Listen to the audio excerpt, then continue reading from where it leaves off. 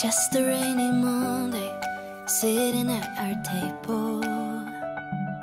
Two cups and an empty chair. You'll be gone till Sunday, everything's unstable.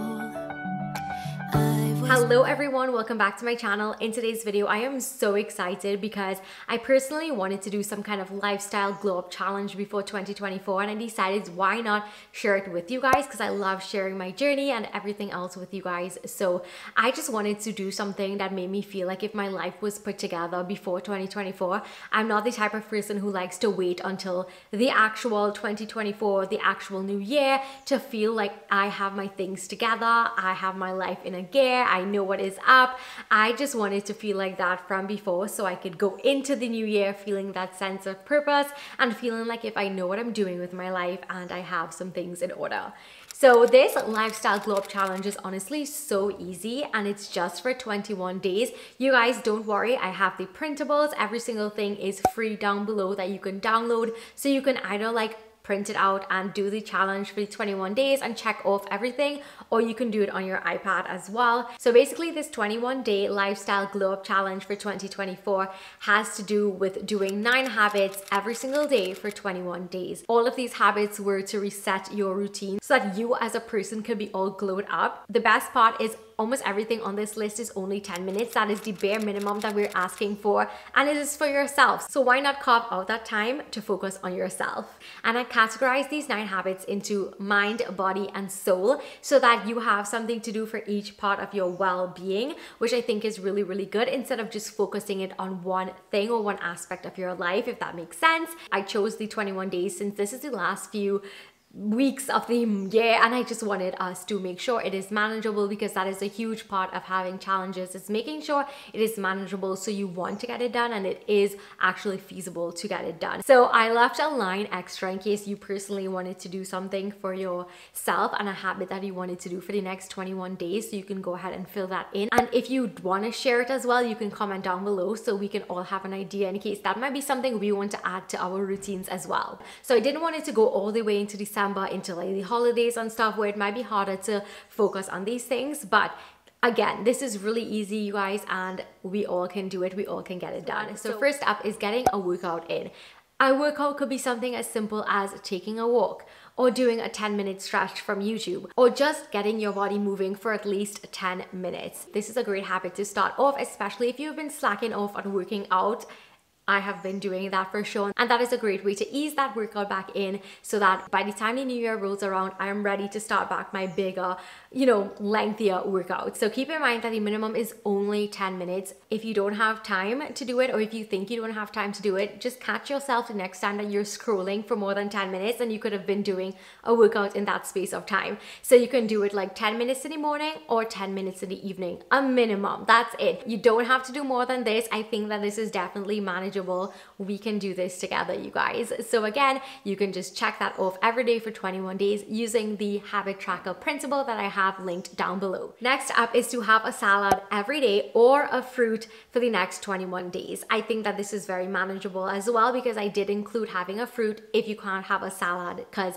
having a fruit is probably so much easier. You can definitely go to the grocery, get some things done. Actually did do a little grocery haul so that I can be prepared for this and I got some arugula and some romaine lettuce, some tomatoes, lemons, and just little salad items to keep me motivated. You don't have to have like a huge salad. This is more about getting your greens in, getting some vegetables in. And if you can't do that, definitely grab a fruit instead. So you can for sure meal prep before you begin. Again, this is not any kind of crazy meal prep. This is really simple having a salad or a fruit for the next 21 days. Again, I think this is a great way to start resetting your diet and resetting your body and nourishing your body in preparation for the new year. So when it rolls around, you kind of have that wanting to eat well and start the year being intentional with what you put into your body. Next up under this category is skincare. I want us to have a morning and nighttime routine skincare where we actually like take time no matter how little it may be, even five minutes to actually take care of our skin and have a routine where we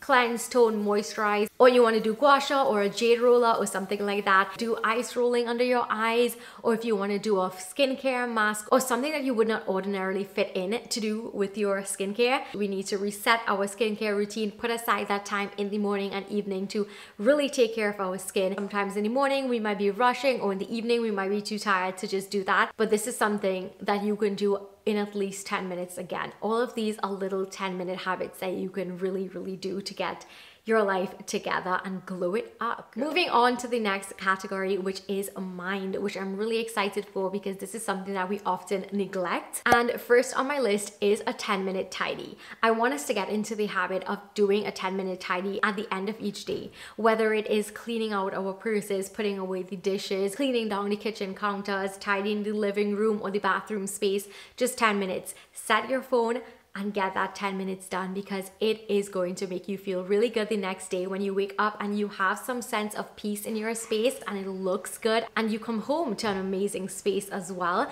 and everything is not clutter filled. You might ask why is this under the category of mind and it more comes from that phrase peace of mind and that is because our mind tends to reflect our space when it comes to creating that really lovely space at home and not feeling all overwhelmed because there's so much clutter around you or the space is just untidy and messy. So I thought this will be really nice to include on our list of routines, which I am just getting really excited to start doing. Every time I talk about it, I'm like so ready and waiting to get this challenge done. Next up on my list is to read every single day for the next 21 days. So I'm leaving this up to you if you want to do like 10 minutes, like how almost everything on this list so far was 10 minutes. You can either do that, you can read a chapter a day, or you can just cozy up and read for however long you feel to read for. I like this because reading is just so much fun and it's something that we often forget to do. I think that this is a great way to get away from that scrolling on your phone and a great way to engage your mind, which is what this section of the challenge is all about. Now, speaking about scrolling, this is where we're going to do a digital detox. Now, hear me out. If you take 10 minutes to do a 10 minute tidy, 10 minutes for a workout, do your skincare routine, you already have about 30 minutes of a digital detox instead of just scrolling on your phone. How amazing is that? You can use this challenge to do other things so that you can check off digital detox by the end of it. And you wouldn't even have to make it seem as if it's a chore because it's definitely not a chore. You can fill that in by getting everything else done on your list which I think is amazing because we definitely need time away from our phones and to reconnect with ourselves, stay grounded, learn new things, and not just be like mindlessly scrolling all day on social media or any time that we have a break. You know, we can do something different and you will be amazed at how much things you can do in the same time that you take or I should say in the same time that you waste scrolling. On to the last category, which is for your soul. So we did mind, body, and now we're on soul. And the first up is gratitude journaling. This is an amazing practice that you can do daily for the next 21 days. If I sound like a broken record, you guys, I'm just stressing how easy of a challenge this is that we can all collectively do. But anyway, gratitude journaling is a great way to keep in mind your blessings and all the amazing things that you have in life. I always say that so many little wrong things go on throughout the day or even a week, and we just tend to hop and focus on that, which is horrible and toxic for our mental health. And instead, we're going to redirect our thoughts and our feelings, emotions, everything like that towards the things that we have in our life that we probably take for granted and that are in fact blessings. And it's time that we just start reflecting on that every day and making it into a practice that we could cultivate into a daily practice for the new year. Next up is do something creative. And this is again getting away and moving away from constantly just scrolling and wasting time and wasting our lives instead of doing something that is fun and creative and engaging and makes us think. Something fun is building a puzzle. This is something that I really want to do. The last time I built a puzzle was probably like years ago, maybe more than 10 years. And it's my goal to get a really cute puzzle and build it maybe like a 500 piece or a 300 piece. We start in small and manageable, but I think that is really cool. It allows the time to fly past us and we are just so engaged and hooked, which I think is really a fun idea. Another puzzle type thing that you can do is word search, which is my guilty pleasure, so much so that I created my own word search book. You guys, if you've been watching my channel, you are so familiar with this, but it is the All Things Girly word search. It is filled with a hundred puzzles with all these girly themes like self-care, Taylor Swift. I love Taylor Swift. I'm such a Swiftie. Countries of the world to travel, morning and night routines, you guys. That is in the word search book. And it is so much fun. It's only like $7 and you can get it on Amazon. I will have it linked down below. I love doing this so much because it just again distracts me from like my everyday life and everything that is going on and gives me something to look forward to. Something else that I think will be fun is baking cookies and actually learning how to decorate them using like free YouTube videos. I actually bought icing recently, icing recently so I could try doing little icing on my sugar cookies that I'll be making soon. You can also do coloring if you're not into painting, if you want something less messy, or you could do something really crafty.